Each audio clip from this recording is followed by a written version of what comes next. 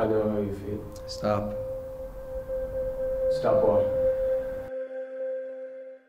Stop that, like, fucking bullshit of, you know, oh, Dan, I know how you feel. I took heroin too. Oh, look at me, poor me, poor you, poor everyone in this fucking circle right here. You know, my parents couldn't give a shit. You know, they don't, they don't, they don't give a shit about me.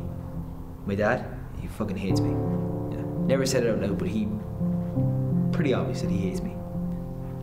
My mom, you know, never in this world, I don't think, has there existed such a clear definition of the word bitch. Sorry, looking first of all. Oh, no, no, no, no, no, come on, come on, come on, please, no, no, no, no, no, no, no. Right, leave that in there. Don't go near her. Don't even look at her. If you do, I'll kill you. You know that, like, and, and, and I'm meant to believe that it is my fault. I am meant to believe that everything that has happened to me in my life is my fault, that I deserve it all, that all the people who don't give a shit about me, that my mom, that my dad, they all make me believe that everything is my fault and that I don't deserve any love, I don't deserve anything. And you know, like, you know,